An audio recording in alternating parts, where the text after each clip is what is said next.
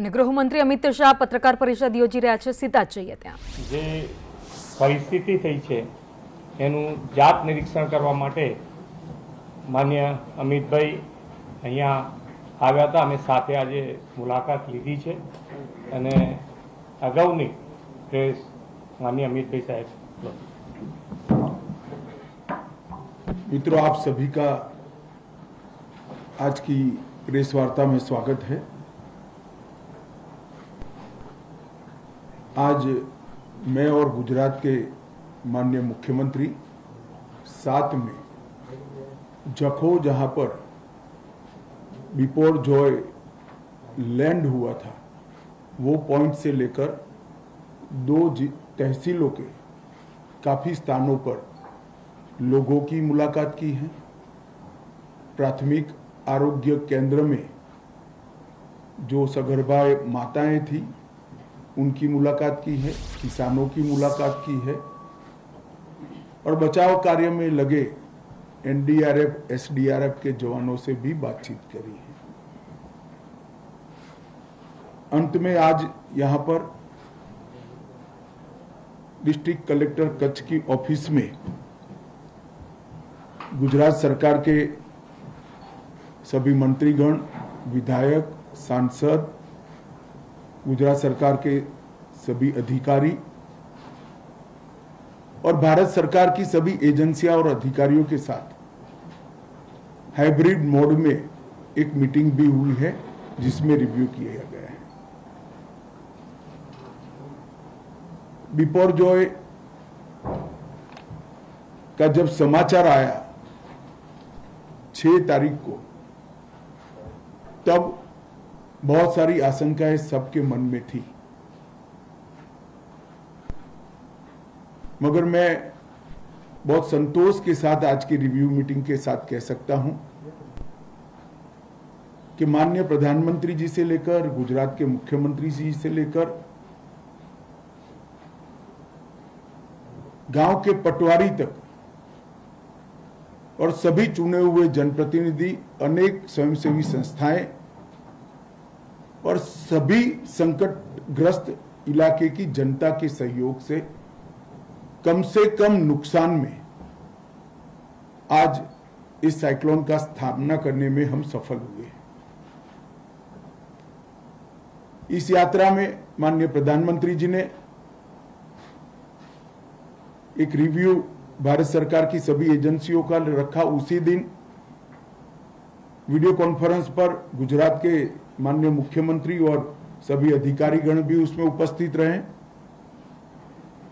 फिर भारत सरकार के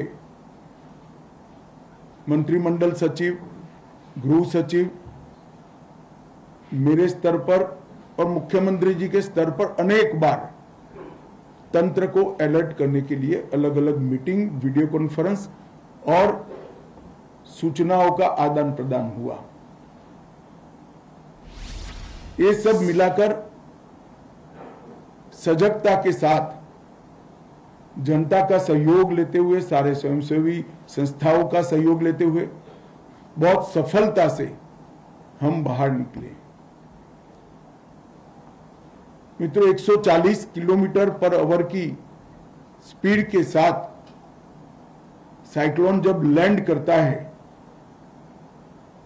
और उसके तीसरे दिन शाम को इसका रिव्यू करते हैं, तब मालूम पड़ता है कि एक भी व्यक्ति की जान इस साइक्लोन में नहीं गई है तो काम करने का संतोष भी होता है और काम करने का आनंद भी होता है। मैं गुजरात सरकार के मुख्यमंत्री और गुजरात सरकार की पूरी टीम को मुख्य सचिव जी से लेकर गाँव के तहसील के पटवारी और तहसील पंचायत के लोगों तक बहुत बहुत बधाई और साधुवाद देना चाहता हूँ कि इतने बड़े संकट में से कम से कम नुकसान के साथ गुजरात की जनता को बाहर निकाला गया है। एक प्रकार से क्लासिक एग्ज़ाम्पल है टीम वर्क का। भारत सरकार की सारी एजेंसियाँ, गुजरात सरकार की सारी एजेंसियाँ, मुख्यमंत्री जी से लेकर नीचे तक सारे विधायक, सांसद और सभी राजनीतिक दल और एनजीओ सबने मिलकर समय पर मिली हुई सूचना का उपयोग जान माल को बचाने के लिए कैसे हो सकता है, इसका एक क्लासिक एग्ज़ाम्पल आज गुजरात सरकार ने सेट किया है। गुजरात सरकार ने हर तहसील में राज्य सरकार का एक मंत्री, विधायक तो थे ही, सांसद केंद्र सरकार के एक मंत्री, हर ज़िले में प्रभारी सचिव, हर तहसील में सचिवालय में बैठने वाले सीनियर ऑफिसर और सारे विभागों को एक्टिवेट करते हुए एनडीएमए के साइक्लोन की पूरी की पूरी गाइडलाइन को लेटर एंड स्पिरिट में ज़मीन पर उतारने का काम किया है। और उसी का नतीजा है कि एक भी जानहानि नहीं हुई है। सिर्फ़ सैतालीस लोग 47 लोग इंजर्ड हुए हैं। उसमें भी एक भी इंजरी ऐसी नहीं है जिसमें परमानेंट अपंगता आए या सीरियस प्रकार की इंजरी हो। और पशुओं को मृत्यु भी अब तक सिर्फ़ दो सौ चौतीस रिकॉर्ड पर आई है।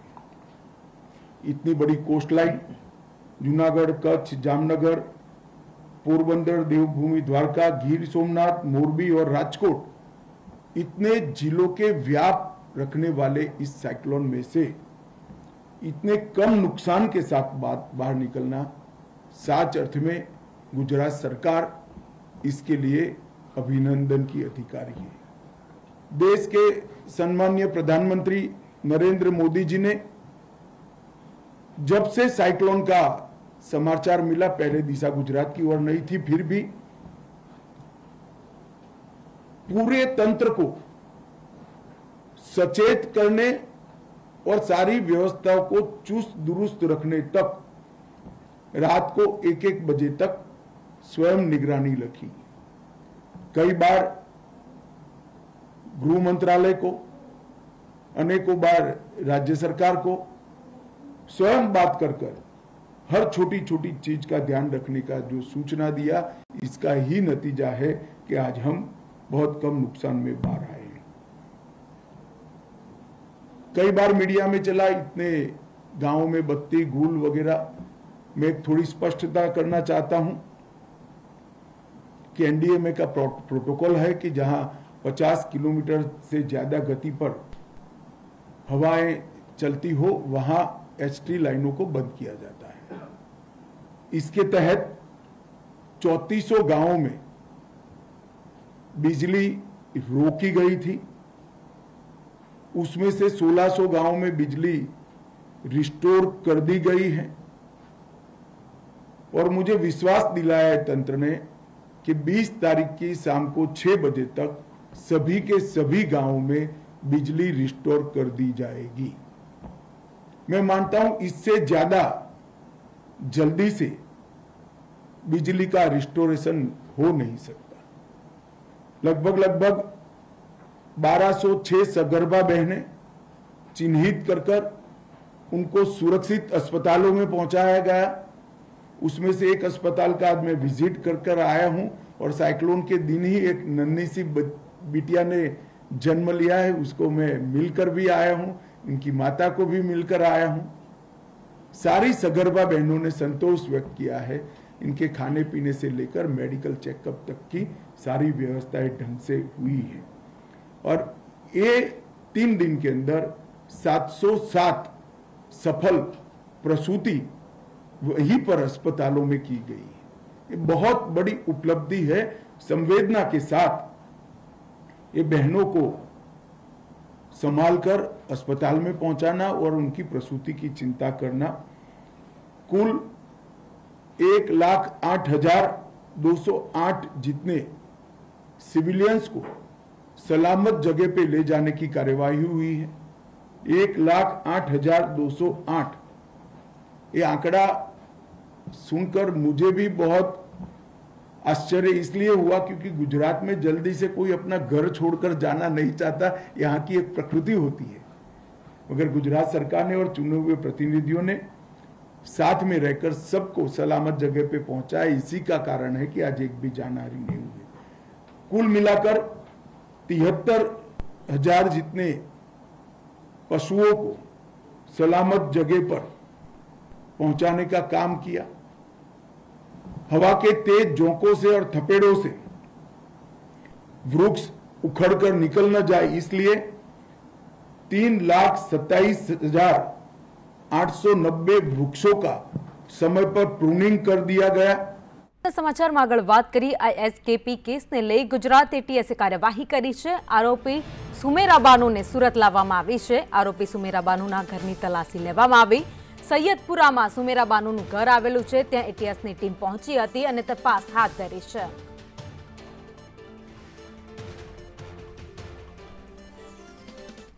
તો ભગવાન જગન્નાથજીની રથયાત્રાનું કાઉન્ટડાઉન શરૂ થઈ ચૂક્યું છે. રથયાત્રા રૂટ પર પોલીસ તંત્ર દ્વારા રિહર્સલ કરવામાં આવ્યું. આગામી વીસ જૂને યોજાનાર ભગવાન જગન્નાથની એકસો છેતાલીસમી રથયાત્રાને લઈ મંદિર ટ્રસ્ટ દ્વારા પૂરજોશમાં તૈયારી ચાલી રહી છે. દરમિયાન રથયાત્રા પૂર્વે જગન્નાથ મંદિર ટ્રસ્ટ દ્વારા મહત્વનો નિર્ણય લેવામાં આવ્યો છે. જગન્નાથ મંદિર ટ્રસ્ટ દ્વારા અયોધ્યા ખાતે રામ મંદિરને ખાસ મુગટ આપવામાં આવશે. રામ મંદિર નિર્માણ માટે ખાસ ત્રણ મુગટ તૈયાર કરાયા છે. આ મુગટોને ટૂંક સમયમાં જ અયોધ્યા મોકલવામાં આવશે. મહત્વનું છે કે આ વર્ષે ભગવાનની માટે નવા રથ કાઢવામાં આવી રહ્યા છે. પંચ્યાસી લાખ રૂપિયામાં બનેલા આ રથ અગાઉના રથની સરખામણીમાં ઊંચા અને પહોળા રહેશે. ભગવાન મોસાળથી મંદિર પરત ફરવાના છે. તેને લઈ અને મંદિરને શોળે શણગાર કરવામાં આવ્યા છે. આ વખતે ભગવાનના નવા રથમાં બિરાજમાન થઈ અને નગરચર્યાએ નીકળવાના છે. ત્યારે ભક્તો પણ રથયાત્રાની આતુરતાથી રાહ જોઈ રહ્યા છે. પોલીસ તંત્ર દ્વારા પણ રથયાત્રાના રૂટ પર રિહર્સલ કરવામાં આવ્યું હતું. રિહર્સલમાં ઉચ્ચ પોલીસ અધિકારીઓ અને પોલીસ કર્મચારીઓ હાજર રહ્યા હતા. રથયાત્રા રૂટ પર પોલીસ જવાનોના પોઈન્ટ ડિપ્લોય કરવામાં આવ્યા છે.